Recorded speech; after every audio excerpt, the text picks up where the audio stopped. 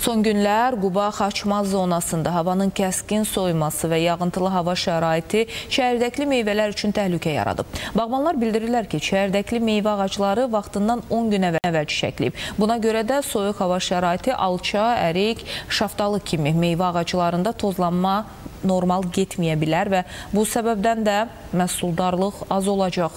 Kənd təsərrüfatı mütəxəssisləri isə çiçəklərin gələcək məhsuldarlığını qorumağı mümkün olduğunu, bunun üçün yalnız elmi təcrübəyə əsaslanan agrotexniki metodlardan istifadə etməyi məsləhət görürlər.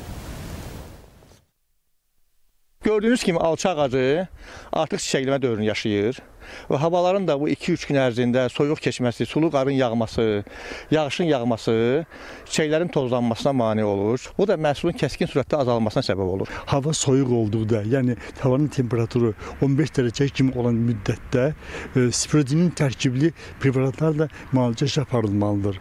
Əgər hava temperaturu 15 dərəcədən yuxarı olarsa əgər difenokonazol tərkibli preparatlarla müalicə aparılmalıdır ki, biz mövcud vəziyyətdən çıxa bilək və məhsuldarlığı saxlaya bilək.